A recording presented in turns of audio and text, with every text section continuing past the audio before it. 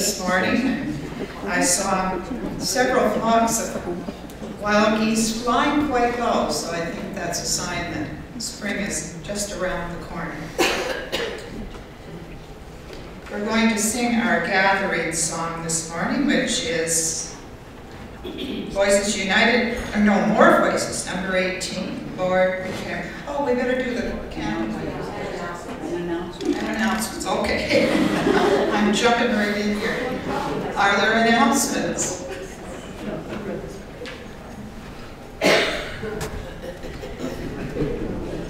Yes, there are announcements. One, I've been asked please to announce if you've already picked up your annual report for next Sunday, there is an extra page, reports that came in late and a couple of uh, corrections. So please pick up that sheet from the back and add it into your annual report. You'll need that next week. Um, also, um, a reminder to UCW members, I will send out a notice. The UCW will, be meeting on March the 19th uh, at 1.30 in the afternoon here in the church. So that's Tuesday, March the 19th, not this coming week, but the week after. They've decided to make a birthday party for me. Happens to be my birthday, but I'll let them make that. Well, I guess that's not going to be a surprise now. Anyways, I still have more posters for the Vintage and Treasure Sale. We've been trying to get them all over town, but some of you might know someplace that you haven't seen one. I've got extras here, so please feel free to get some from me and make sure that they're in every place we possibly can. And I try to really emphasize the fact that we can only sell what people generously donate and uh, that we're taking uh, good quality donations until April 20th. The other UCW thing that is incredibly important and the deadline is looming at Chestermere, coming up at Chestermere on April, the first weekend of April, is a UCW event. Uh, you, many of you got an email about it, but we have to pre-register and this is about where is UCW going. And this is a Chinook Winds um, event uh, that I think, because we live the closest to Chestermere, we better have the best turnout of ladies show up. Because this is a chance to have our voices heard and to listen to the speakers and see what's really happening with UCW. So I have registration forms, it's $25 for the day, and we register and, and they would like our money ahead of time of course, but let me know if you can go, because we need to get two or three carloads, I would hope, to go. I'm going to put the posters up, but there's registration forms and the deadline has to be in this week. So it is urgent and we really must um, attend. This is our first Chinook Winds District UCW event. Thank you.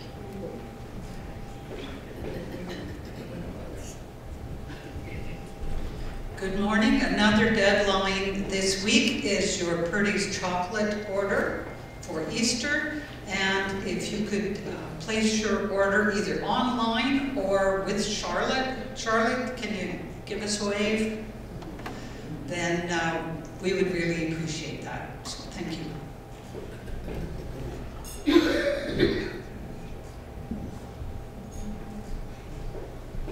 Good morning, uh, Don Jansen here. I'm uh, announcing the annual meeting on March 17th, which is next Sunday, uh, for our annual meeting in Potluck. So just remember the annual meeting. Uh, this is our second announcement. Thank you.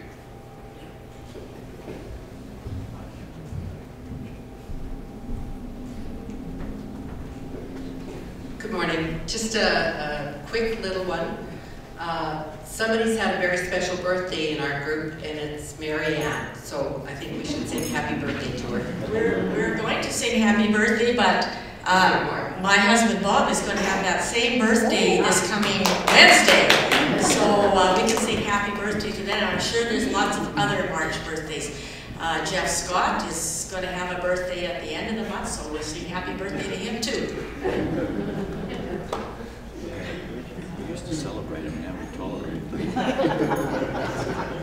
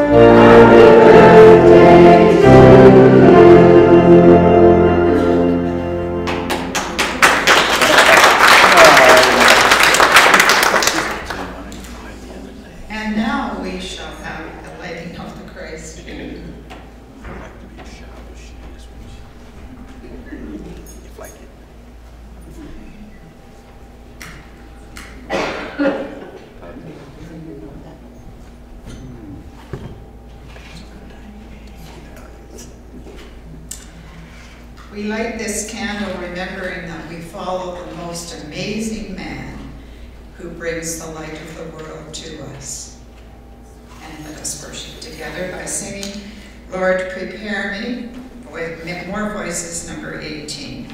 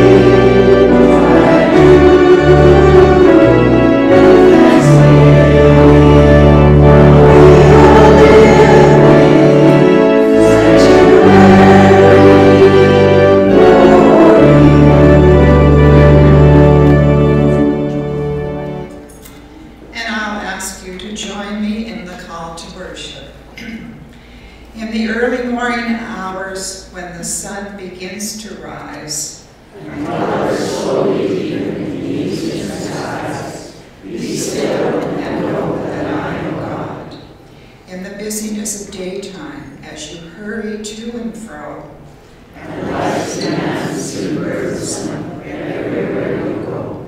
Be still and know that I am God. In the busyness of daytime, when the beauty of the mountains and the golden fields of grain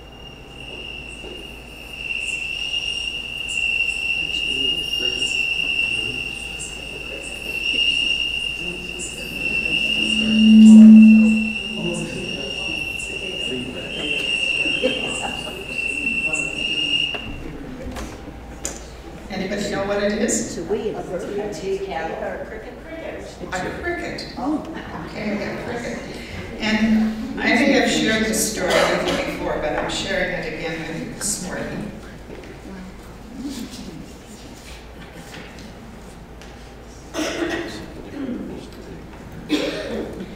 Once, two friends were walking down the sidewalk of a busy street during rush hour. There was all sorts of noise in the city. Car horns honking, feet shuffling, people talking, and amid all of this noise, one of the friends turned to the other and said, I hear a cricket. No way, her friend responded. How could you possibly hear a cricket with all this noise? You must be imagining it. Besides, I've never even seen a cricket in the city. No, really, I did hear a cricket. I'll show you, she stopped for a moment, then led her friend across the street to a big cement planter with a tree in it. Pushing back some of the leaves, she found a small brown cricket. That's amazing, said her friend. You must have superhuman hearing. What's your secret? No, my hearing is just the same as yours. There's no secret, the first woman replied. Watch, I'll show you. She reached into her pocket, pulled out some loose change, and threw it on the sidewalk. Amid all the noise of the city, everyone within 30 feet turned their heads to see where the sound of the money was coming from. See, she said, it's all a matter of what you're listening for.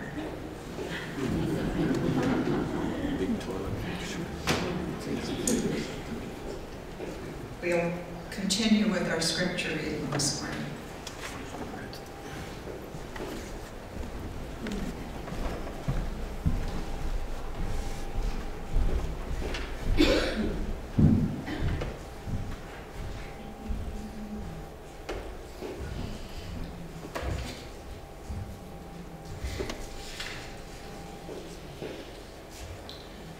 The first reading is from Kings 19, verses 9 to 13a. At that place he came to a cave and spent the night there. Then the word of the Lord came to him, saying, What are you doing here, Elijah?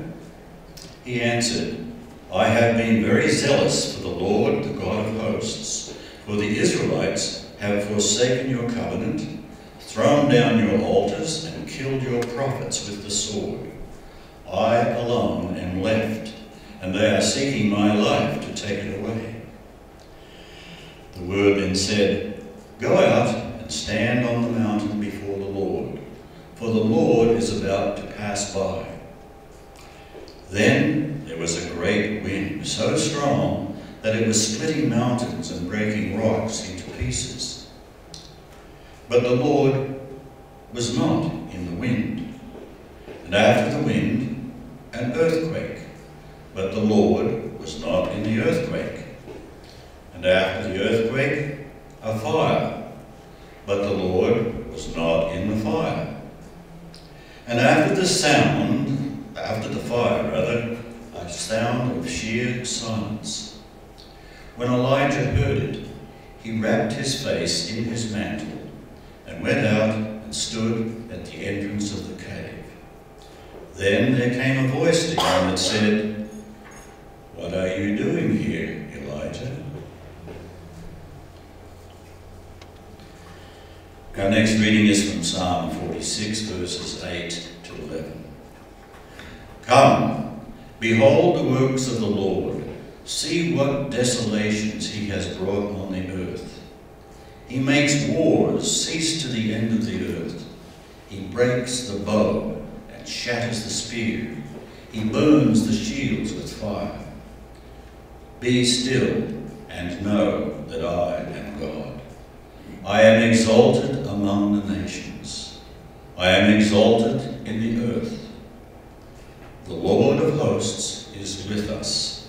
The God of Jacob is our refuge. This is the word of our sacred story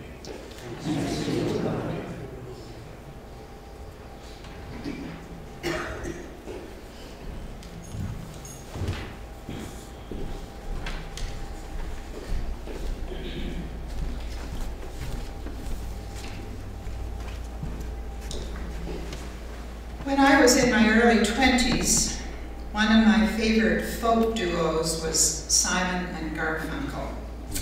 And one of my favorite songs that they wrote and sang was The Sounds of Silence. I still enjoy listening to that song. It is a song about the inability to truly communicate. The opening line, Hello, darkness, my old friend, I've come to talk to you again, can be interpreted both literally and metaphorically as representing solitude, alienation, and the absence of meaningful communication. If you really want to dig into the interpretation of the lyrics, you will find that there is a much deeper meaning. But for this morning, I want you to think of silence as your old friend. And there is a quote that says, Still for a moment the busy shuttle of time, that we may see the pattern in the weaving. Still for a moment the busy shuttle of time, that we may see the pattern in the weaving. This lovely phrase from a book of common prayer sums up one of the purposes of Lent. Lent is a time to be still and to know that God is God. A time to let God speak to the silences in our hearts. If you're familiar with music notation, you will know that there is no music in a rest, but there's the making of music in it.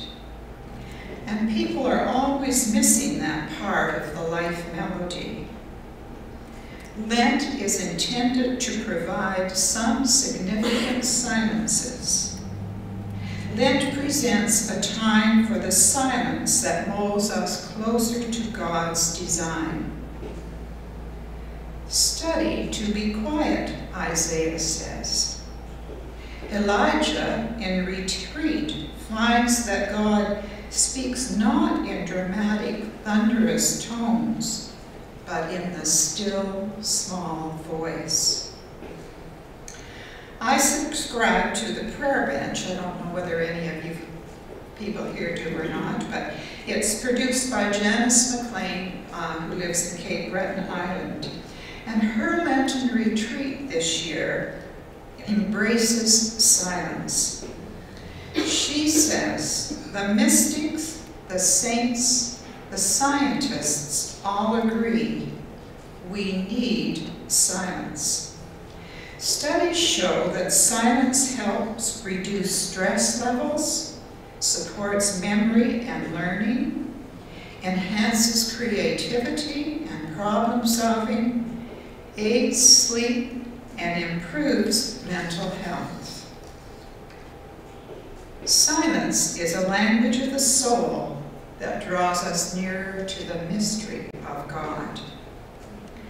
John 14, verse 20 says, You will know that you are in me, and I am in you. We yearn for silence, and yet we fear it. Making silence is almost extinct in our culture, and we are forgetting how to make silence or even recognize it when space opens. There is a quote from the Book of the Hearts by Jon Sweeney and Mark Burrows that says, There is a language so beautiful that is never spoken. There is a deep sort of silence that may never adequately fall into words. That, I tell you, is more valuable than any jewel or any diamond. Anthony DeMello, in his little book, One Minute Wisdom, asks the question, how shall I experience oneness with creation? By listening, said the Master. And how am I to listen? Become an ear that gives heed to every single thing the universe is saying. The moment you hear something you yourself are saying, stop. In other words, don't be filling the silence with the sound of your own voice. Silence is something of an endangered species. Studies show that we live in a culture with an incessant flow of sounds and constant need for background sounds. We live in a noisy world. Silence is uncomfortable. Too much silence leaves us close to our sadness, grief, and worry. So we quiet the uncomfortable inner noise with outer noise. Silence is unsettling. We are all familiar with the uncomfortable feeling that overcomes us when a conversation pals. Studies have shown that when a pause in a conversation reaches four seconds, one or more of the conversationalists will invariably blurt something, a comment about the weather, or, gosh, is that the time? Rather than let the silence extend to five seconds. Being silent in the natural world is a particular kind of silence that includes bird song and the sounds of the breeze in the trees. By truly taking a moment to observe and listen to it, we grow to know and value the world we live in. Silence is not always the opposite of sound. When I was on the island of Maui recently, I walked every morning on the beach, and I had a favorite spot where I could sit and listen to the waves crashing on the shore. I could observe the egrets and the other shorebirds, and if I was lucky, I might see a whale breaching offshore or a turtle on the beach. This was my silent time of the day. And it always amazed me as I was walking on the beach, the number of people I would see with earbuds in their ears or their cell phone in their hand, busily texting somebody or having a conversation with somebody, totally blocking out the sounds and sights of nature around them. In warmer weather, I have a basket chair in my backyard that hangs in my Brandon elm tree. And in the summer and in the spring, summer, and fall, I like to sit there sometimes with a cup of tea and a book. Other times, just being. Sitting there listening to the sounds of the birds in the trees above me, or observing the flowers, or smelling the scents of spring, summer, and fall. Josie Hobday from Praying Magazine says this, When I was a little girl, my mother took us kids for prayer walks out in the country in the summertime every evening after supper. I've been walking into the world ever since. And while my walks with my mother were in silence, there was a whole lot of talking going on.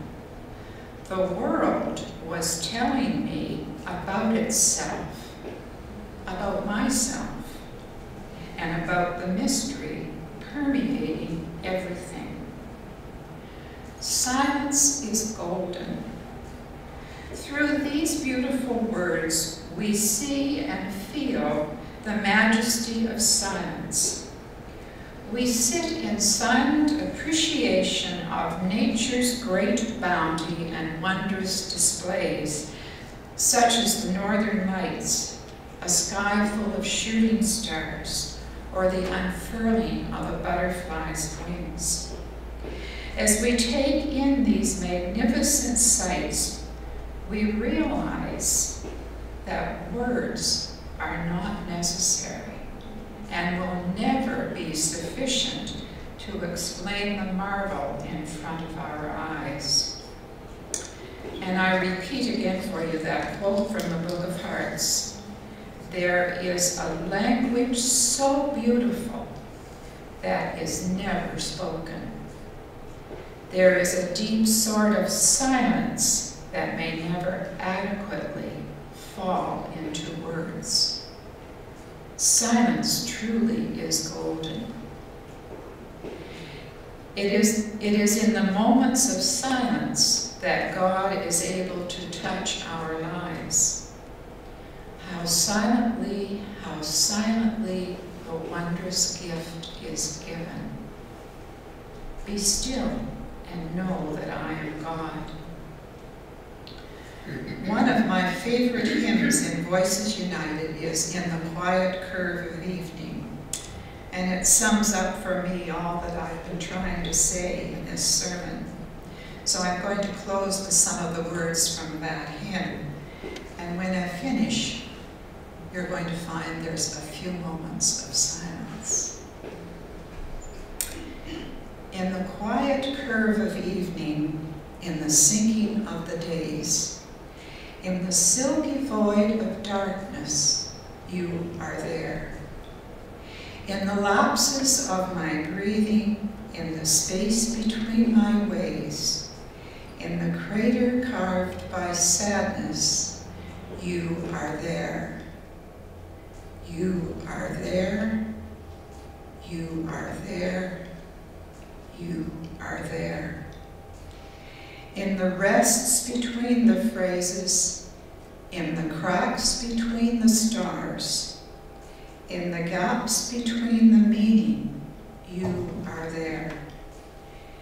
In the melting down of endings, in the cooling of the sun, in the solstice of the winter, you are there. You are there you are there. You are there.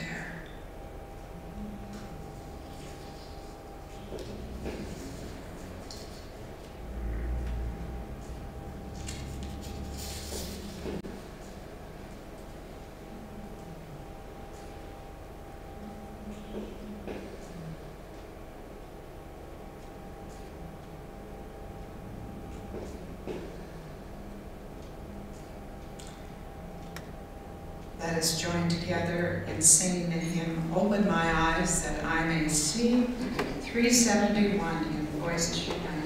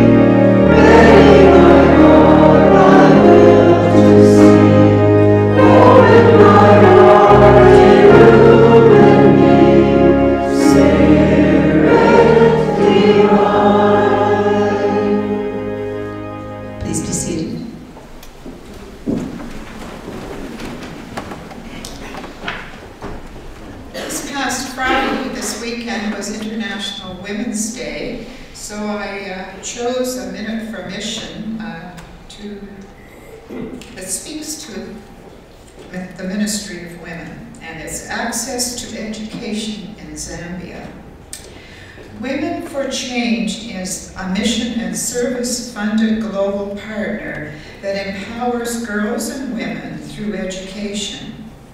Access to education is a major challenge in Zambia, especially in rural areas where the majority of people live below the poverty line. An estimated 500,000 children of primary and secondary school age are not enrolled in school. Rural children, especially girls, are more likely to drop out of the school system or never be enrolled at all. Traditional attitudes toward women, poverty, early marriage, gender-based violence, lack of sanitation facilities, and the decision to use scarce resources to educate boys rather than girls all block girls and women from fully participating in educational opportunities. When the United Church Women heard stories of girls and women in Zambia, they wanted to help and decided to support Women for Change as their major project for three years. The people behind Women for Change knew that it takes more than just money, books, and shoes to motivate girls to remain in school. There are few role models, particularly in rural areas. Women who have received higher education and can inspire girls by showing them the difference an education can make. With the support of United Church Women and through mission and service, Women for Change will focus on programming to create opportunities to give girls and young women living in rural areas the encouragement they need to remain in school. If mission and service giving is already a regular part of your life, thank you so much. If you have not given, please join me in making mission and service giving regular part of your life of faith. Loving our neighbor is at the heart of mission and service. And I know your offerings are already in the plates at the back, so we will sing together the doxology 541.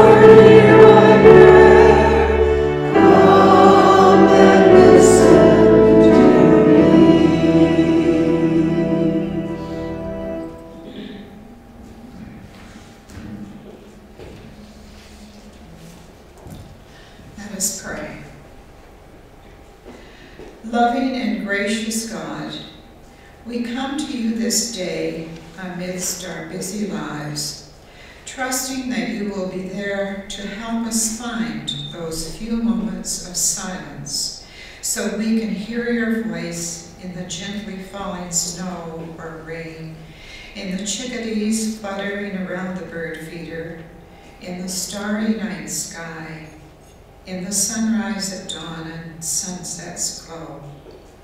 Help us also to be aware of those people and places and situations in our world that are calling for us to reach out and be a source of God's healing love. For the lost and forgotten, may they be found and remembered. For the victims of war, violence, abuse, and neglect, may they find peace, justice, and love. For the sick and grieving, may they find comfort and healing. For those who, who oppress and tear down, may they experience such grace that they will in turn liberate and build up.